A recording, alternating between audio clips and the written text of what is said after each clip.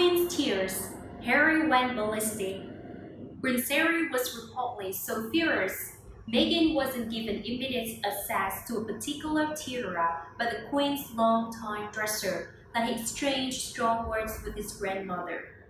Royal biographer Omid Scobie claims Harry asked the Queen, What the hell is going on? during a heated call-over of hat piece Meghan wanted to wear for the 2018 wedding. According to the new book Finding Freedom, Tiara Gate began when after Angela Kelly dragged her feet when Meghan requested access to the tiara.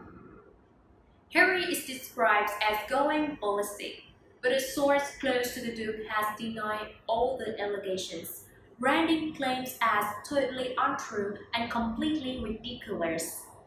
The Duke of Sussex made headlines recently after it was reported that he could be forced to return to the UK due to visa issues of being a UK national living in the US. According to Express, Royal Commentator Angela Levin made the shock claim to Talk Radio's Mike Graham while discussing the possibility of the Sussexes ever returning to the UK. When Mr. Graham mentioned how Finding Freedom author Omid Scobie had claimed Harry and Meghan will return to the UK to continue their charity work, Angela weighed in. Harry will need to because of his visa.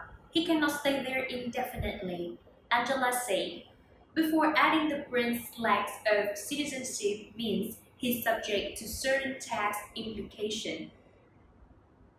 The royal commentator went on to say that while the Duke may be forced to have her for various legal reasons, she hopes he does regardless to see his grandparents, father and brother Wills. They are his family and I don't think Meghan will come with him and I'm certainly sure they won't bring Archie, she said. Also in the interview, Angela said it could be particularly difficult for Meghan to head back to the UK after her royal family passed, despite recent reports she and Harry intend to do so.